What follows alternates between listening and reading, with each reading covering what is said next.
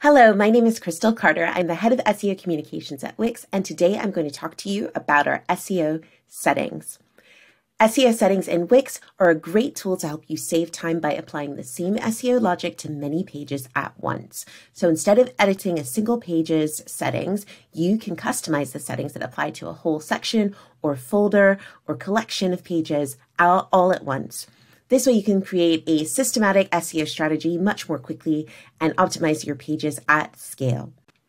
To find your Wix SEO settings, you would go to Marketing and SEO. You'd navigate to SEO Tools, either here or here, and then you would go to SEO Settings.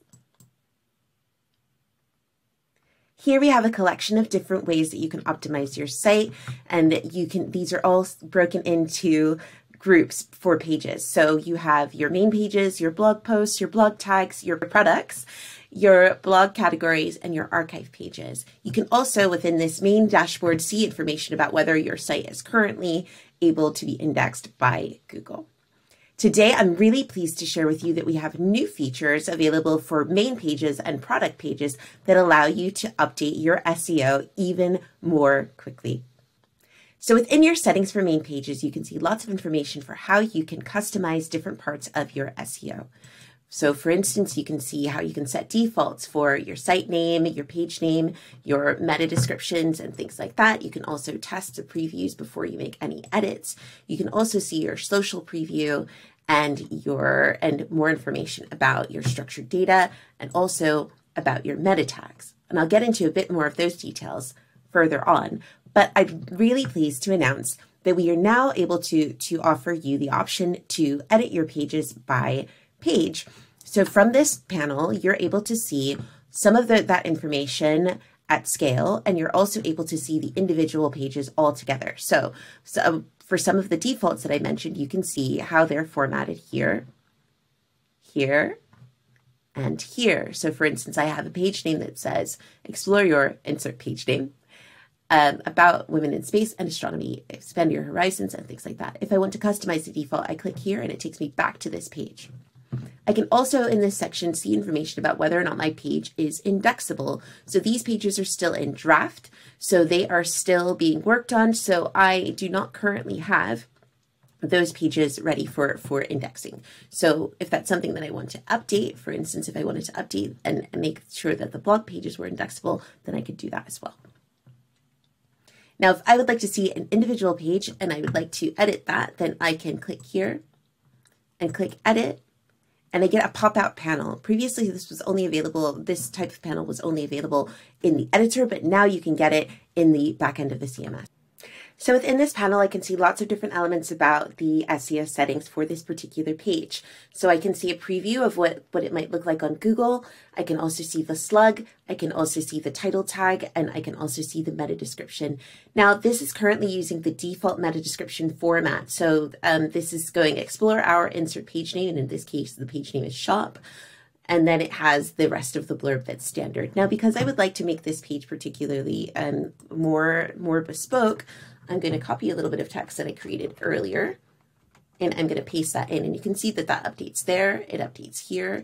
And when I click publish, it will also update on the panel there.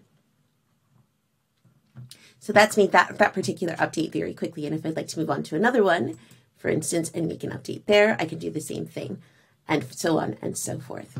As we go through here, we can also see information for social share. So for instance, if I wanted to edit this image or if I wanted to edit the text here, I could do that. If I wanted to edit the structured data markup for this particular page, I could do that. Or if I wanted to add some new markup, I could do that too. Um, there's also access to the robots meta tags here, here, and here. And there's also access to additional tags. So for instance, the canonicals, the site name, the website, that sort of thing. From this panel, I can also see information about navigating to the editor. So for instance, if I wanted to go to edit some of the visuals on the page, I could do that.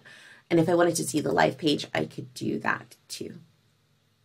So the new feature is also available for product pages. To go to that, you go to SEO settings and you select products. And then you would go to edit by product and you can see the collection of products that you have in your shop. And then you can see, again, information about your defaults for your product URL, your page title, your meta descriptions, you can also see information about whether or not it's indexable. So only products that you have made indexable will be available here. If you have other products which are which you have uh, chosen to hide from your shop, they will not be visible here. So where you have these and they have the check mark, that's all great. And you can see again on the three dots, if you click here, you can see edit, go to product page or go to live page. Here I would like to edit and I can see from this preview that this is pulling in lots of information from the from the page. My goodness, that's too much. So if I want to edit that, then I can make sure that I edit it. So to edit this meta description, I would click here and I can you can see that it's giving me a warning telling me that my meta description is too long. So I've written a shorter one and I'm going to copy copy that one and I'm going to paste it into here for instance, and you can see that it's much better now, and this is giving me a preview of what that's going to look like now. If I also would like to, to update this, I can say, um,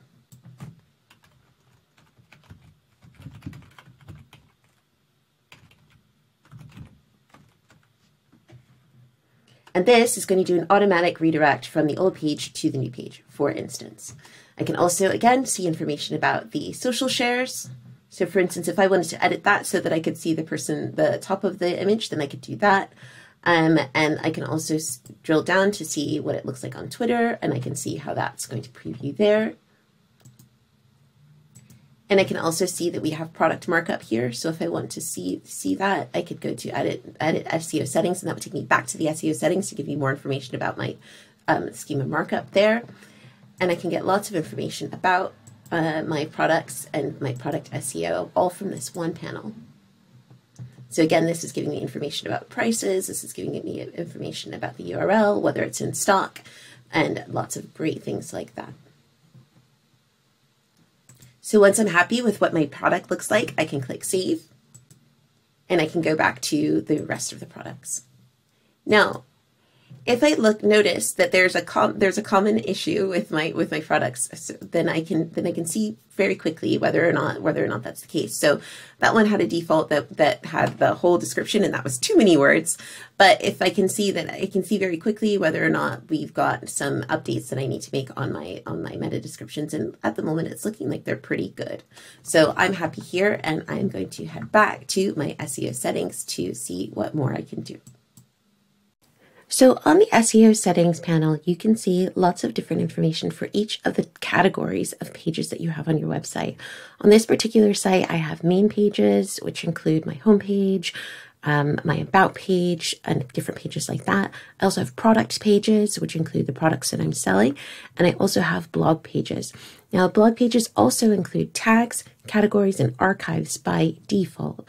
One of the great things about the SEO settings um, dashboard is that you're able to set um, set rules for each of these categories as to apply to all of the pages that are within those categories. So, for instance, if you didn't want to have your blog archive pages um, to show in Google's index, and you could tick this box to make sure that they weren't showing in Google's index. And that would mean that every single page that was one of these archive pages wasn't showing in Google. So these are these are really really useful. For each page, they will have the same set of of criteria and the same set of actions that you can take. So each page, each set of pages will have your SEO basics and social share. They will also have your structured data markup. They will also have your robots meta tag, and they will also have additional meta tags. Your SEO basics and social share will help you to manage whether or not search engines can see your pages. So, for instance, whether or not your pages are indexable in Google and Bing and other search engines. It will also allow you to set your defaults, um, your default automations for how your pages are structured. So, remember on this tab for Edit by Page, here you can see the default automation from your SEO default. And if you want to customize that, set that default, then it will take you back to this customized defaults pages. And from here, you can you can um, make sure you can change around the template that will show unless you put in something specific for that particular page. So you can see that here I have an automated default that says explore and then insert page name, whatever the page name might be and then I have some text. Now you can see here on this tab, and this is one of the things that's great about this, that I can see some of these pages are using this default, but some of them I've enter entered in the content, um, I mean bespoke content for that particular page, and that's great. So you can decide which pages you want to have defaults in and which pages you want to have um, you want to have a custom meta description for. And when you're thinking about your custom meta descriptions, you want to make sure that it includes a keyword that's relevant to your page. And also um, possibly think about a CTA and potentially think about making sure that you've got um, something that is that is reflective of what the page is about. So if you have a default, it should be fairly generic and should be something that should work um, uh, straight out of the box. But you will also want to, to have a look at your pages overall and make sure that your default works. If you see that your default uh, most of the time doesn't work, then maybe you want to change what the default is. The other one you're going to think about within uh, within this panel is structured data markup. So structured data markup is a type of uh, it's called JSON LD, and this is something that allows you to um, to get more information from your pages to Google in a very formatted and structured way. So the other information that you'll see on these particular tabs is the robots meta tags. So each of these each of these gives uh, robots different instructions for how to treat your page. So it might tell them to no index, which means to hide these pages from from search results. It might say to no follow, which means that bots should not crawl links to these pages and they might say no snippet, which means that they don't want to show um, the meta description, for instance, for these pages within the search, search search results, or it might even mean that you don't want to include it in featured snippets, for instance. You have your uh, no image index, which means that you might want to hide the images on these pages from search results. This will also hide those particular images from your sitemap you might want to have no archive. So this might mean that you don't want to cache the link for this particular page. Sometimes Google stores information about pages in, in Google for a long time, even after the page is gone. So for instance, if you don't want that page to be, to be archived, then you can tick the no archive button. Then you have max image preview. So this one is this one is interesting. You tick this and then you can select different sizes. So you can say none or standard or large. Large is actually an SEO optimization, which give, makes you more likely to show in SEO Discover if you include max image preview large. So if you're doing blogs, I highly recommend that you use that particular setting max snippet, which mean, means that you can set a character limit for what you want to display in the um, in the snippets for the pages. That might include the meta description. That might include other sections of the website. Your max video preview, again, this might show the number, th this allows you to limit the number of seconds that you want to uh, show in, in Google search for a particular video that you might have on your page. And within within the, this these settings, if you wanted to add more um, more meta tags, then you could go to this section and you could add more more meta tags. By default, Wix websites include the page URL as the canonical um, for most pages. But for instance, if you wanted to make that unique for um, for a section of your website, you would do this. If you wanted to make it unique for a single page on your website, then you would go to here and you would go to advanced and you would go to additional meta tags and you can change the canonical here. So I could edit this and I could make this specific canonical tag here. And those are the main settings that you would get to from the Wix SEO settings. Thank you so much for joining me. If you've enjoyed this video, please visit the Wix SEO Learning Hub to learn lots of other ways that you can improve SEO on your website.